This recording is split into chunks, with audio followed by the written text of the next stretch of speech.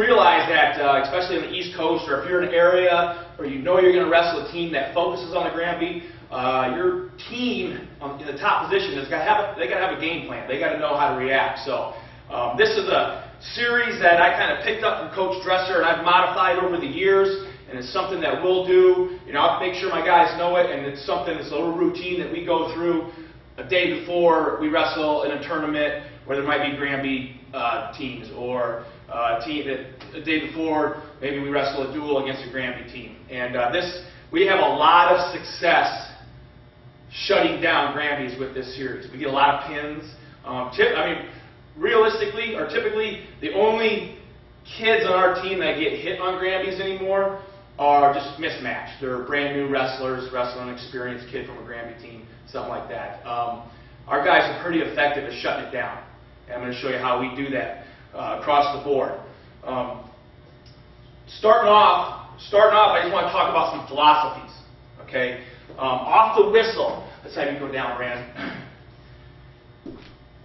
I'm going to show you some, some things that we do off the whistle that kind of feed into uh, what we do in the top position. And you might want to tweak this a little bit, but I think it's very important. If you know you're going to wrestle a Granby wrestler or a team that, that works the Granby, um, you have to give your team, your wrestlers, a game plan on the whistle. Okay? They start off with a with nothing in their head, no game plan, and this guy, uh, they you know they spend countless hours working the Granby system from the bottom position. He's going to know what he wants to do. Okay, so he's going to be going. He's going to beat you with the punch. He's going to catch you with something. So make sure you know whatever you use. Make sure your team knows that that's what they're looking for on the whistle, and they got to beat the guy with a punch. So one of the easiest ways, uh, if you know you're going to wrestle a Granby team, um, is just switch sides on the whistle. So a drill that we'll, we'll kind of do is just uh, switching sides on the chop or switching sides uh, we're going to an ankle.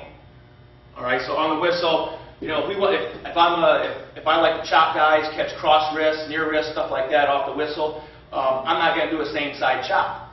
All right, if I like to chop and catch this wrist, and I'm just going wrestling a Granby guy and I chop, he's going to go with that thing, boom, he's going to come out, and I'm going to lose him. He might get my wrist, and he might reverse me, whatever. So if I'm a chop guy, I'm going to switch sides, number one. Let's go back a little bit, Brandon.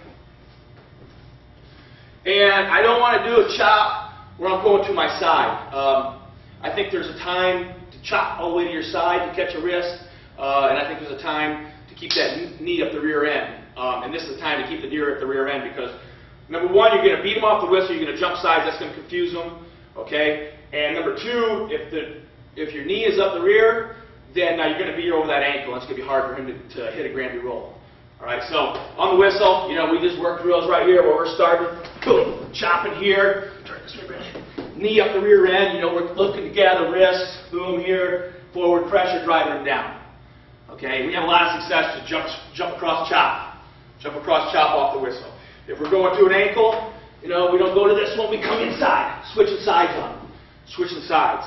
Uh, another good start uh, is right into a spiral ride. And you'll see how later on in the series how we kind of work the half. All right, we're going to right off the whistle, especially if it's short time, and you know this, and you're winning the match, it's close, and you know this guy's going to be going nuts on the whistle to try to score that point and tie it up or take the lead. Um, I would go straight to a half, spiral half. All right, go on the whistle, boom, just right here, right here, getting that half in. He's going to be probably making it hard to get that thing in there, but you know, just digging and digging, and get, getting relentless with it. Um, another option, if you're uh, if you like to teach your team to, uh, I guess I've heard it called the bulldog, or basically ride an ankle, that might be something you do. I don't do a whole lot of that, but uh, you know that might be something right off the whistle. Obviously, if you got this guy's ankle, it's hard for him to uh, Granby roll you. So the biggest thing, a couple tricks there, jumping sides, shoving halves in, but the biggest thing is you need to make sure that they have a game plan. When the whistle's blown, your wrestler knows exactly what he's going to do. So he can stop that initial move. Okay, he takes charge right away. Um,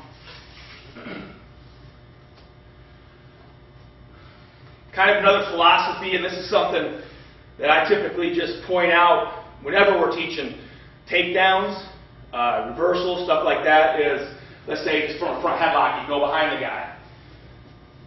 All right, anytime you're taking a guy down, coming behind him, you're never coming here around the waist. Okay? Guys can grab that and they can they can tuck in here. You have to hit a Granby, or they can, you know, if it's maybe a big guy, they can side roll you, grab it, boom, right here. So we're always talking about when we're coming around the corner, when we're getting behind the guys, we're always either grabbing, we're either grabbing here, here, all right, never giving them this. Never giving them this. Never just, you know, get get behind the guy, boom, and coming like this. Because he's trained at a Granby system. You man, he's just going to see a green light, he's going to start going. Um, so just some things to think about. And like I said, that's something that we point out just whenever we're teaching takedowns in those situations. You know, just shorthand, never giving, never coming all the way around the waist. Um, now I'm going to go into uh, basically a series that we do, and what we'll do is we'll teach this, make sure the guys know what to do, and then once they get it down, which usually takes about one practice for them to understand what they're doing, then this is something, you know, in a light practice, day before a match, this is part of our routine. We'll just click through this. We'll just click through this, okay? What we're going to start with is what we call float drill.